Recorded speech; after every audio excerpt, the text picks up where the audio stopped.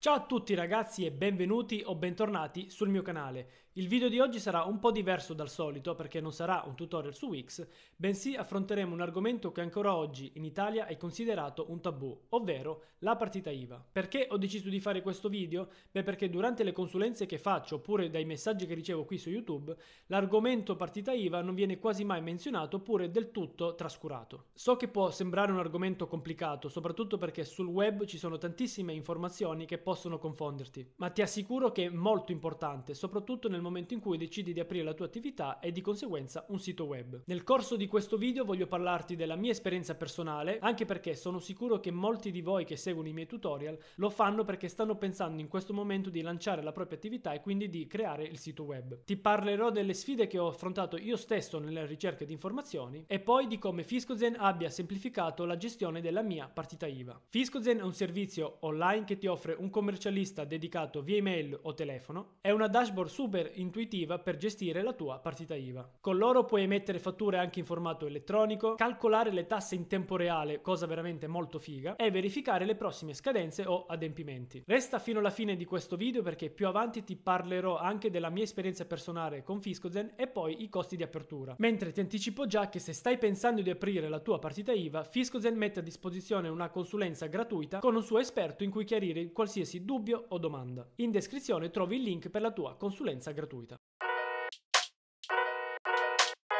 Iniziamo subito con il dire che avere la partita IVA è un adempimento burocratico obbligatorio se hai un'attività. Entrando ancora di più nello specifico, se hai intenzione di creare un sito web per la vendita di servizi o prodotti online, allora hai anche l'obbligo di indicare la partita IVA all'interno del tuo sito web, di solito nel piedi pagina. Si tratta quindi di un elemento cruciale per operare legalmente e conformemente alle normative fiscali. Averla dimostra che la tua attività è registrata e riconosciuta da tutte le autorità. E qui ti introduco al primo vantaggio di avere la partita IVA, ovvero ovvero l'aumento di credibilità di te stesso o della tua professione agli occhi dei clienti, dei partner o dei fornitori. In poche parole dimostri di lavorare legalmente e di rispettare tutte le normative. Anche perché praticamente tutte le aziende o comunque fornitori preferiscono collaborare con professionisti che hanno una partita IVA, soprattutto nel caso in cui si cercano collaborazioni durature nel tempo. Tornando all'argomento sito web, per quelli che gestiscono transazioni online, quindi proprietari di e-commerce, la partita IVA è spesso richiesta addirittura dai processori di pagamento conto. Senza una partita IVA potrebbe essere difficoltoso ottenere l'elaborazione degli accrediti dei pagamenti. E credetemi, questa è una di quelle cose che mi viene chiesto veramente più spesso. E poi ragazzi, la partita IVA è essenziale per emettere fatture valide ed è fondamentale quando si gestiscono transazioni online, vendite di prodotti o erogazioni di servizi tramite il proprio sito web. Io stesso nel momento in cui ho deciso di lasciare il mio lavoro da dipendente e poi diventare finalmente un web designer, in contemporanea ho deciso di aprire anche la mia partita IVA.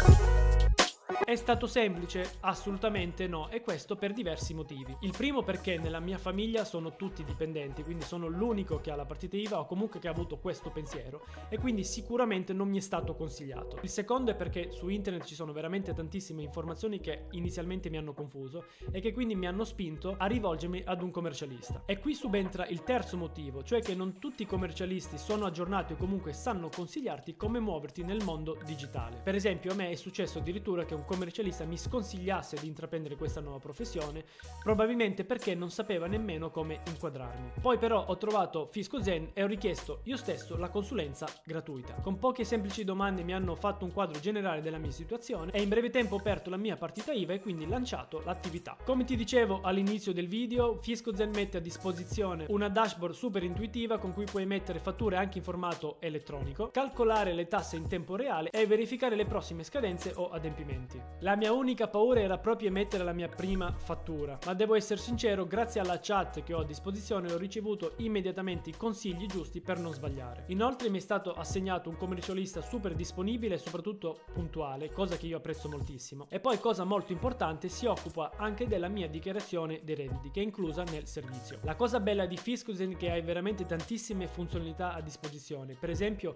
la sezione dedicata alle fatture che hai emesso ma che ancora non ti sono state pagate, oppure oppure il calcolatore di tasse che si aggiorna in automatico nel momento in cui tu incassi una nuova fattura. Quindi veramente zero rischi di errore.